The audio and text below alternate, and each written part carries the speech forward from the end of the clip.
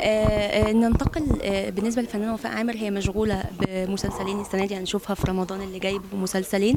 كلمينا عن آه، أولهم آه، أبو هيبة في جبل الحلال مع الفنان محمود عبد العزيز. أبو هيبة في جبل الحلال مسلسل آه، كاتبه الأستاذ ناصر عبد الرحمن كان ليا سابقة معاه في كف قمر وأستاذ ناصر عبد الرحمن من الناس المهمة جدا في مصر وفي الوطن العربي وكاتب آه، آه، يعني أو أديب بي- بيكتب الرواية مش مش على أساس آه، تقليدي.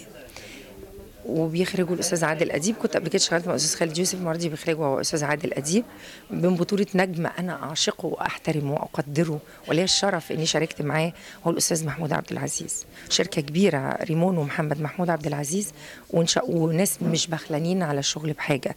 عاملين كل ما يعني يخلي الممثل مرتاح والصورة مرتاحة. الحقيقة الش- الشغل مع الناس دي متعة لأنه شغل مختلف بجد. الشخصيه أكيد جديدة ومختلفة لأن وفاء مش بتقدم حاجات م- مكررة لازم بتقدم حاجات جديدة. لما أبقى اختيار آه، نجوم زي الأستاذ محمود عبد العزيز أستاذ ناصر عبد الرحمن أستاذ عادل أديب يبقى أكيد هم شافوني في حتة تانية غير اللي أنا كنت محطوطة فيها أو غير اللي أنا شايفة نفسي فيها. مع إن أنا شايفة نفسي في أماكن تانية لسه كتيرة قوي الشخصيه بقى يعني مش عايزة أحرقها بصي مش هقدر أقول لك يا دعاء غير إنها سعدية.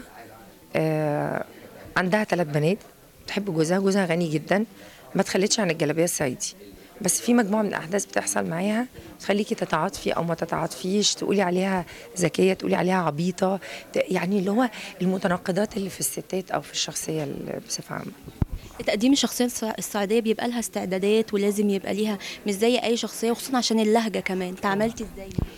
آه، بصي هي اللهجة طبعا مسؤولية ال- بدع اللهجة اللي هو الراجل الأستاذ المصحح اللي بيجيبه للهجة. آه، اللي عليا أنا الحفظ والإحساس وده برضو تقيل قوي يعني.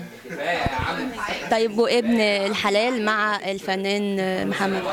محمد رمضان أنا برضو سعدت إن أنا بشتغل مع جيل من من جيل الرواد أستاذ محمود عبد العزيز وجيل من الجداد اللي هم الناس بتحبهم قوي. محمد رمضان إن شاء الله بإذن الله هتشوفوني مع محمد رمضان برضو بشخصية مختلفة شكل مختلف. حسن دهشان كاتب حاجة حلوة قوي. آه، إبراهيم مخرج عامل حاجة حلوة قوي قوي. فخر. وإن شاء الله خير.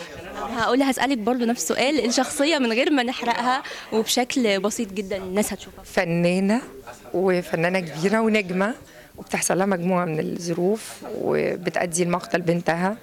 هتقف جنب الجاني ولا جنب المجني عليه؟ هنشوف. إن شاء الله. طب آه، أخيرا وفاء أنت هيبقى عندك المسلسلين آه، حابين نتكلم هتوفقي إزاي بين آه، آه، بين ال- المواعيد؟ مش لا ما تقلقيش. أيوه. بين المواعيد أنا أنا ما بعرفش أشتغل اتنين في وقت واحد فإن شاء الله اتفقت إني أخلص جبل الحلال أدخل وإحنا بنشتغل في جبل الحلال بقالنا دلوقتي ده الشهر الثالث فاضل فاضل لي تقريبا شهر كمان. أنا في دوري داخله أعمل الديكور بتاعي اللي جاي وكبير. وكده أكون خلصت 95% هيبقى فاضل لي مشاهد تانية كلها بالطرحة. أكون غيرت بقى للشخصية التانية. ما بعرفش أشتغل اتنين شكل بعض. شايفة أخيرا أخيرا دراما رمضان 2014 إزاي؟ هتبقى ضرب نار. بس المهم إن أنا اخترت ولاد الحلال واشتغلت معاهم. لا أقول ربنا يوفقنا ربنا يوفق مصر ربنا يقدر الرئيس القادم علينا.